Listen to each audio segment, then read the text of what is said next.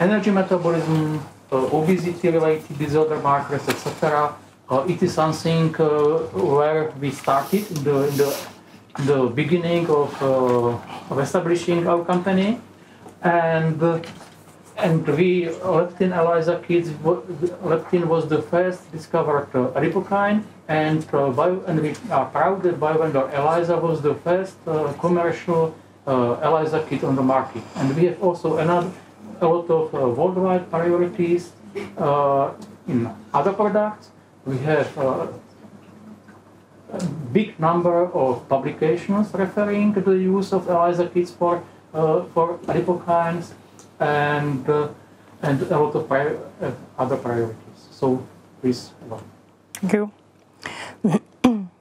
Good afternoon, ladies and gentlemen. I'm going to talk uh, about energy metabolism, and I will start with a brief uh, introduction about clinical background, and uh, after that I will continue uh, with uh, selected uh, adipokines, and the end of the presentation will be some information about portfolio over overview. Obesity.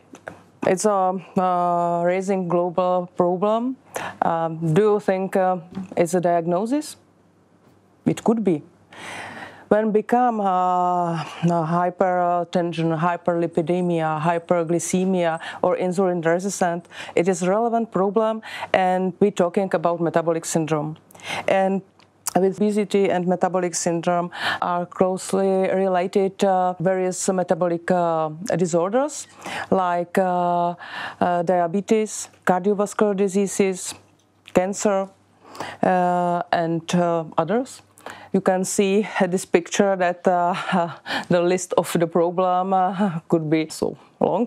But now I would like to focus to diabetes exactly that diabetes it's a worldwide problem because uh, the prevalence uh, of uh, diabetes uh, rising. You can see data uh, from International Diabetes Federation. Uh, it's uh, data from 2017, and you can see this value is really impressive. And the estimation of prevalence or, or identified identificate uh, uh, diabetes in 2045 will raise about 50%, and it's uh, a lot.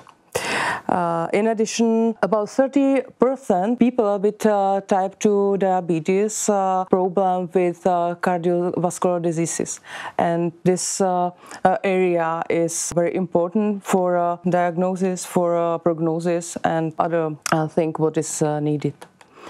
So uh, Vladimir mentioned that uh, we are uh, strong in uh, this field because uh, we, Biovendor started with parameters uh, for diagnosis of metabolic syndrome type 2 diabetes.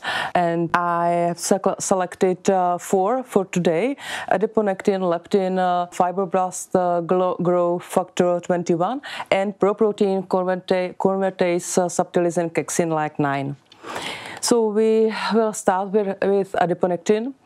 It is uh, a well-known and established parameter or marker for metabolic syndrome and uh, diabetes. Low serum levels predict uh, type 2 diabetes and uh, it is independent of uh, other risk factors, what, what is uh, very important.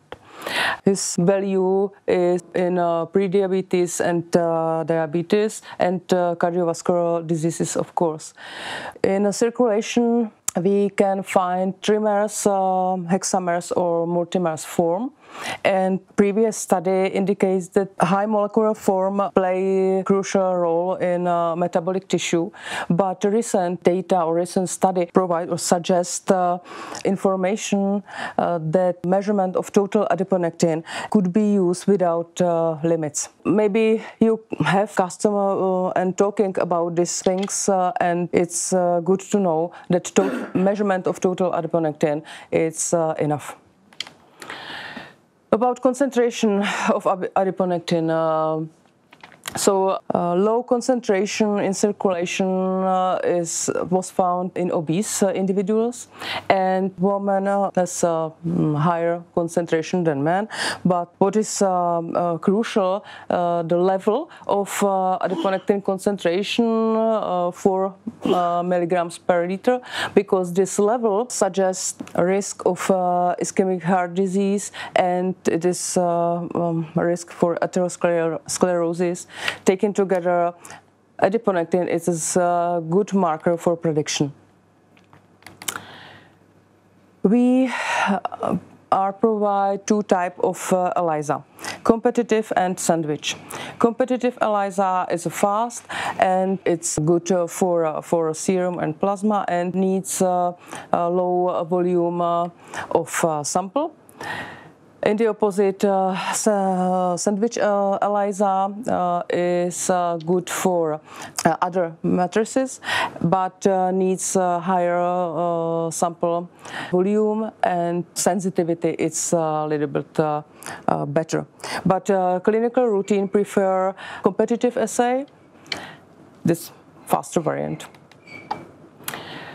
When we look to adiponectin discovery timeline, uh, we can see that uh, uh, BioVendor developed and registered the um, CE-IVD product early, and you can see that this is uh, repeating information. We were the first uh, on the market with the IVD-CE product. References uh, from uh, PubMed uh, talking about uh, BioVendor adiponectin uh, ELISA uh, in 5% cases and I think that it's uh, good results of uh, our product and when we uh, thinking think that we are provides proteins and antibodies the value will be much higher.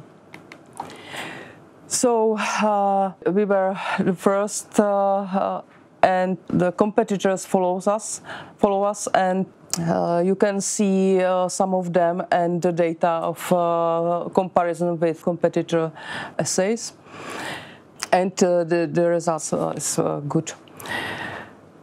So what is uh, typical customer for for uh, adiponectin ELISA. Uh, you can uh, choose from uh, all these uh, possibilities that you see because adiponectin measurement is still attractive. discovery of new interactions, for example, obesity paradox was not done and others. Uh, it's an opportunity to uh, work with the data of adiponectin and we think uh, that uh, value of uh, measurement of adiponectin is important for uh, every study, for every clinical trials and you can't to have results without adiponectin if you are focused on diabetes and metabolic syndrome. When I'm talking about adiponectin, uh, I can't miss uh, leptin. Uh, leptin, uh, it's a, a, hunger hormone. It regulates uh, appetite, uh, food intake, and metabolism. And you can see uh, this picture that uh, uh, the changes of uh, leptin are depends on uh, if you are hungry or not. but uh, clinically, the problem with leptin could be when it's continuously concentration of leptin low, it could be associated with leptin deficiency and uh, where is uh, concentration high, uh, it will be uh, leptin resistance. This is note that uh, it was the first, yeah, uh, and Vladimir mentioned this information. So uh, leptin uh, and adiponectin, it is it is uh, both are good parameters, but together it's advantage because uh, you can uh, uh, see that the value or the difference uh, between uh, healthy and uh, and people with cardiovascular problem or or others provides beneficial predictive value, and this picture shows some example example of this. And leptin adiponectin ratio is uh, useful useful predictor of uh, uh, metabolic syndrome and uh, cardiovascular risk, stratification and clinical routine. It's uh, definitely true. Yeah. Now we move to other parameter, uh, FGF21. Uh, it is uh, interesting uh, parameter because uh, it has uh, anti-obesity effect and its concentration significantly increase with number of positive signs of metabolic syndrome. And it is a good predictor of metabolic syndrome and type 2 diabetes but strong focus was uh, on FGF21 as a therapeutic utility because uh, it was theory that and some some uh, preliminary uh, results that could be used uh, instead uh, insulin. But the results of study with animal was not confirmed in humans. And currently we uh, wait for uh, um, results of uh, gene therapy, what is new approach of FGF21. So we have uh, ELISA. Uh, we have, of course, competitor, you know, and uh, what is advantage that our kit was used uh, with in collaboration with pharmaceutical companies uh, in uh, research of uh, FGF21 uh, as a therapeutic utility. The last one uh, is uh, PCSK9. It is a relative uh, new parameter.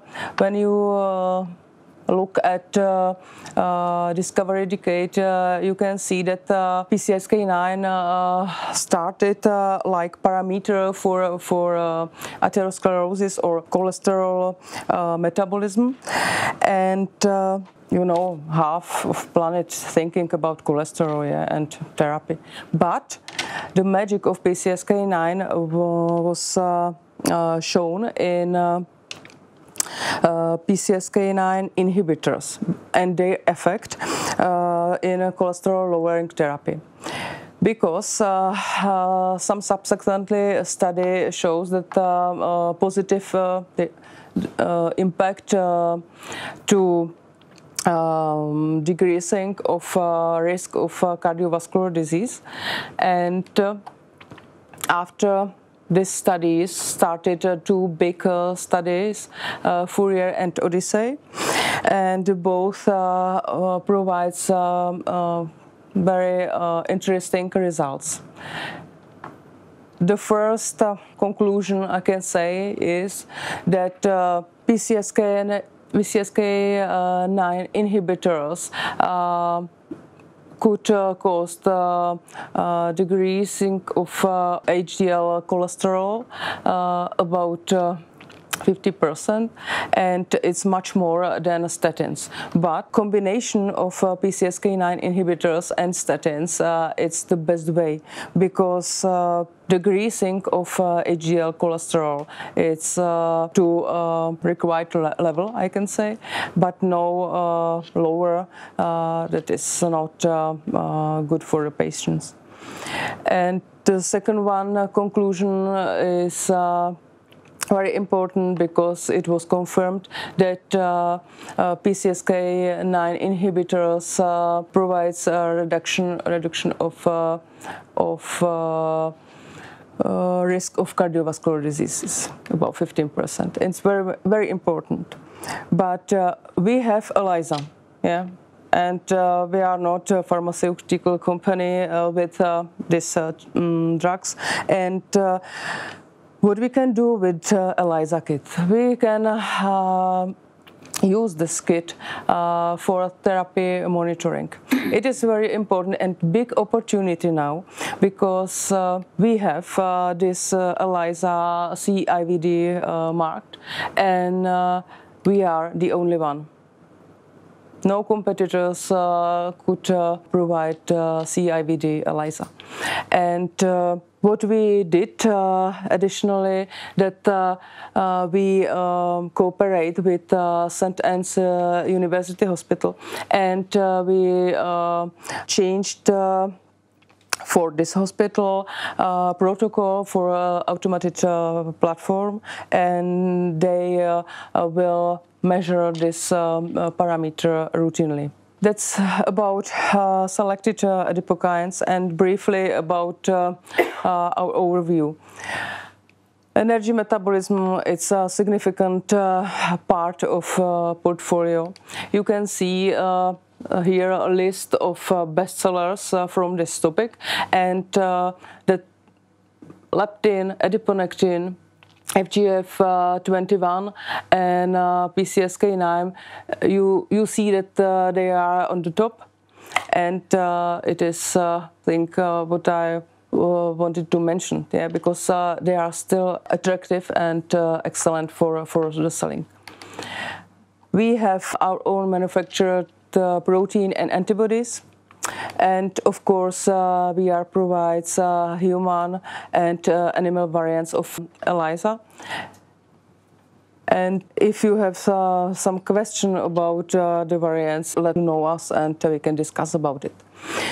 The last information is about some uh, recommendations how uh, use uh, our product. We can offer a product for metabolic syndrome for diagnostic uh, part for uh, prognosis uh, and of course and adipokines are important for um, cardiovascular risk and gestational diabetes and preeclampsia and others.